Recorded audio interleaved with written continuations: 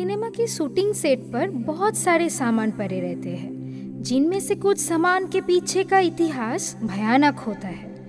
वैसे ही है एक आयना जो कोमलिका नाम की एक एक्ट्रेस की थी। कोमलिका बहुत ही अच्छी एक्ट्रेस थी। उसका सपना था कि वो एक दिन सिनेमा की दुनिया का एक बड़ा स्टार बनेगा, और इस साल का बेस्ट एक्ट्रेस का अवार्ड वही जीतेगी। इसके लिए वो खूब मेहनत करती थी। कोमलिका जिस चरित्र का अभिनय करती थी उस चरित्र में एकदम ढल जाती थी। वो जब अभिनय करती थी तब देखने वाले लोग एकदम हैरान हो जाते थे। वाओ! बहुत खूब कोमलिका। कोई जवाब नहीं तुम्हारे अभिनय का। कोमलिका बहुत सुंदर थी। उसके पास उसकी एक फेवरेट आईना था। वो उसी आईने में देख के मेकअप किया करती थी। सुनो कोमलिका कल इस पिक्चर की आखिरी सीन है। एक ऊँची पहाड़ी के किनारे से हीरोइन सुसाइड कर लेती है। ये लो, कल का डायलॉग। कल सुबह सात बजे हम लोग पहाड़ी के लिए निकलेंगे।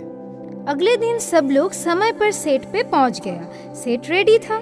कोमलिका आखिरी बार अपनी आईने में मेकअप चेक करके आईना हेयर ड्रेसर बॉय को दे देती है। फिर डायलॉग और एक बार याद करके पहाड़ी के किनारे पहुँच जाती है। ये एक इमोशनल सुसाइड सीन था।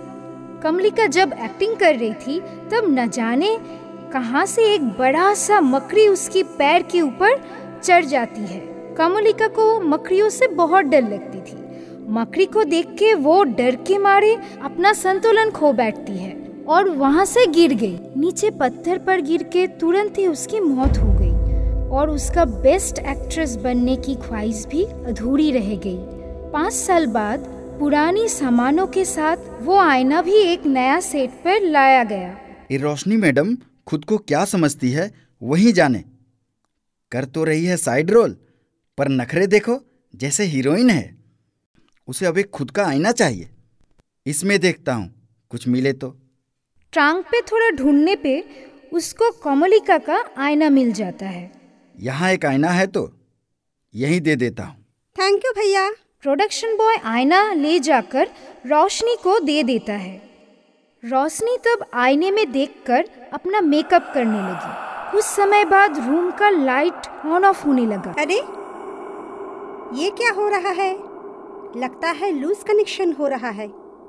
फिर लाइट एकदम ऑफ़ हो गई और तब आईने से कोमलिका का भूत बाहर निकाल के रोशनी को देखने लगी।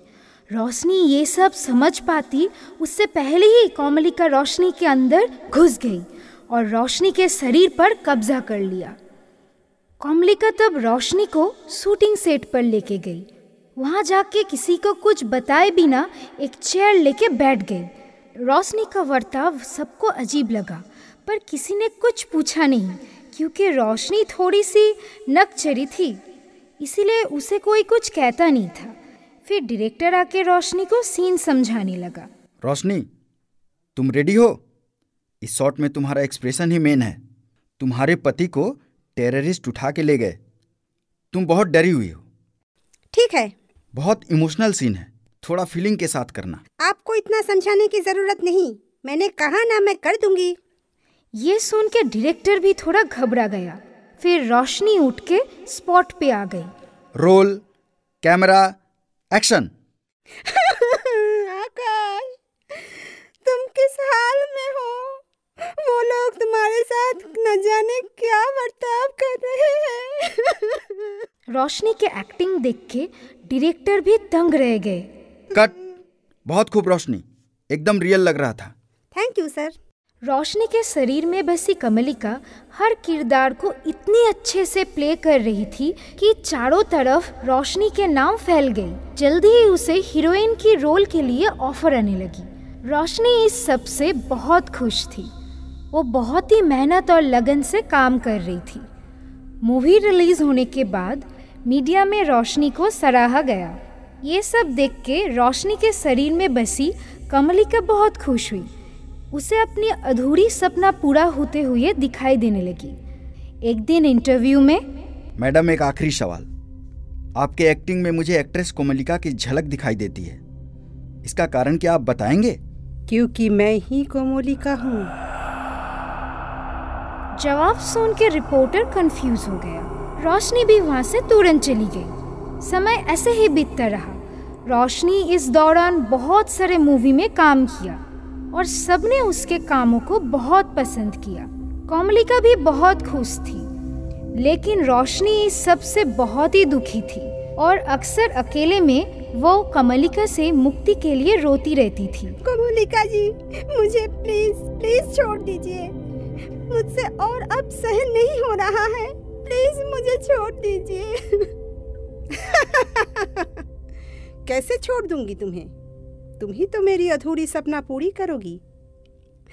आपका सपना पूरा हो जाने के बाद मुझे छोड़ देंगे ना? ज़रूर वादा रहा। रोशनी अपनी तकलीफ़ चाह के भी किसी को बता नहीं पाती थी क्योंकि पूरे दिन कमलिका रोशनी के शरीर पर कब्जा करके रखती थी लेकिन उसके पुराने डायरेक्टर को रोशनी के वर्ताव से शक होने लगा। रोशनी क्या बात है? तुम आजकल बात बहुत कम करती हो।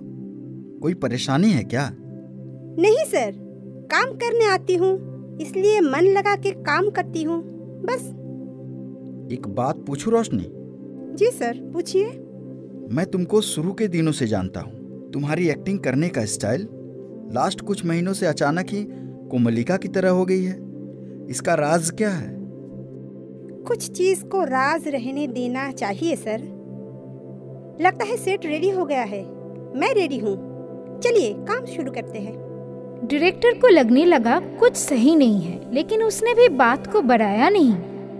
फिर वो दिन आई जिस दिन का कमलिका को बरसों से इंतज़ार थी। रोशनी को best actress of the year की अवार्ड मिला। आखिर मेरा सपना सच हो ही गया।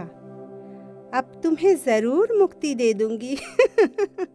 कमलिका रोशनी को उसी पहाड़ी के किनारे ले आई जहाँ से वो खुद गिर गई थी। मुझे यहाँ क्यों लाई? आपका तो सपना पूरा हो गया। अब मुझे छोड़ दीजिए ना। ज़रूर लेकिन ऐसे नहीं। तुम्हें मैं ज़िंदगी से ही मुक्त कर दूँगी। तुम अगर ज़िंदा रहे तो कमोलिका का राज सबको पता चल जाएगा। ये मैं होने नहीं दूँगी। नहीं ऐसा मत कीजिए। मुझे जाने दीजिए। कोमलिका रोशनी की कोई भी बात नहीं सुनी और उसे धक्का देके नीचे गिरा दिया। और रोशनी के जीवन का भी अंत हो गया और वो आईना भी अपने आप टूट गई।